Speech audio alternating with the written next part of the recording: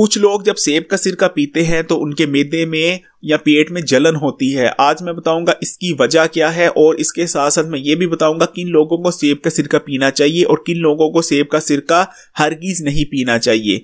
दोस्तों, आप देख रहे हैं Hakim Ali health and beauty tips. तो आइए शुरू करते हैं। दोस्तों, चैनल सब्सक्राइब कर लीजिए अगर ये चैनल अभी तक सब्सक्राइब नहीं किया। अगर आप सेब का सिरका पीते हैं खाने से पहले तो ये बहुत अच्छी आदत है।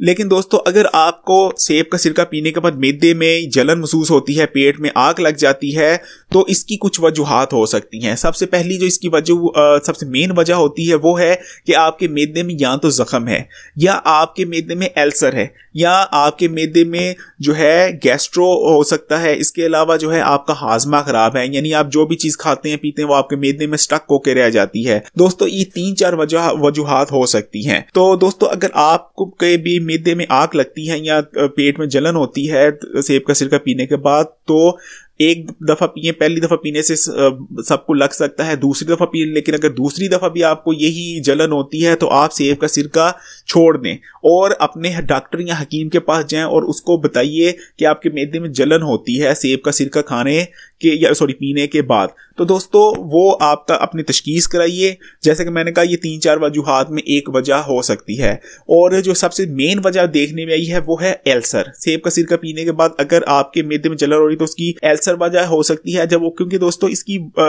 होता ये है कि जो सेब का सिरका है वो बहुत ज़्यादा एस्टिक होता है। तजाब यानी तजाबी ख्वास का हामिल होता है। जब तेजाब एल्सर पे पड़ता है तो वो बहुत ज़्यादा शदीद आग लगा जैसे लगती है, वैसी कैफियत महसूस होती है। इसके अलावा बहुत ज़्यादा जलन होती है। इसके अलावा अगर आपका हाजमा ख़राब है तो वो भी मैदे, सेब का सिर का मैदे में रह जाता है काफ़ी देर तक। तो क्योंकि वो तेजाब होता है और जब मेदे में काफ़ी देर तक रहता है तो वो जलन पैदा करता है। इसके अलावा गैस्ट्रो जिनको लोगों को है, वो, उनको भी यही कैफियत होती है जलन की। और दोस्तों अगर आपके मैदे में खुदा ना खासा कोई जख्म हो गया है या सूजन हो गई है तो उसके बाद उस पर भी जब सेब का सिरका लगता है तो क्योंकि तेजाब होता है, वो जलन पैदा करता है। दोस्तों, ये कुछ वजूहत थी।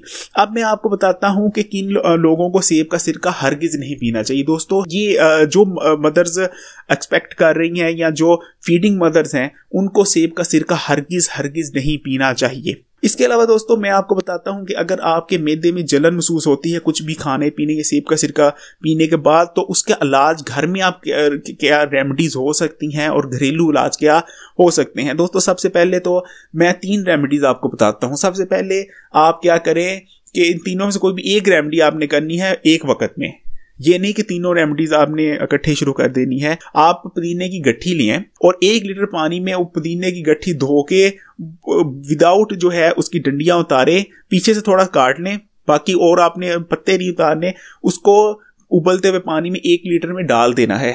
दोस्तों, जब पानी आधा लीटर रह जाए तो आग बंद कर देनी है और दोस्तों, उसको ठंडा होने देना है। जब पानी अच्छी तरह ठंडा हो जाए तो उसको छान लें और उसको पिए। ये एक रेमडी है। दूसरी रेमडी जो है, वो पेट के लिए बहुत ज़्यादा तसीर है कि दोस्तों, आप सौंफ का पानी, सौंफ लें और तकरीबन दोस्तों, दो चम्मच सौंफ लें और उसको जो है तीन गिलास में उबाल लें। जब पानी जो है उबलने लग जाए तो थोड़ी देर उबालते रहने दी तीन से चार उबाल आने के बाद पानी को चूल्हे से तार के ठंडा करें और वो पानी पिए। इसके अलावा जो तीसरी रेमडी है, वो हर किस्म के पेट के मर्ज के लिए बहुत ज़्यादा तसीर रखती है। और वो अगर वैसे भी आप महीने में एक आधी दफ़ा कर लें तो आपको इंशाल्लाह पेट का कोई मसला नहीं होता। बड़े से बड़ा पेट और मैदे का मसले के लिए शफा है। रेमडी नोट कीजिए। दोस्तों, आपने एक लीटर पानी लेना है और उसमें आधा जो है गट्ठी पुदीने के पत्ते की डाल देनी है। और सॉरी पुदीने पुदीने की डाल देनी आधी गट्ठी। और उसमें आपने एक चम्मच सौंफ की डाल देनी है टेबल स्पून और दोस्तों, उसमें आपने चार सब्ज इलायची के डाल देने हैं। और उसको दोस्तों, आपने उबालना है। जैसे ही दो से तीन उबाल आए, उसको आपने चूल्हे से अतार के ठंडा कर लेना है और ठंडा करने के बाद उसको छान के उसको पिए। इनशाला हर किस्म के मैदे की मसाइल से निजात मिल जाएगी।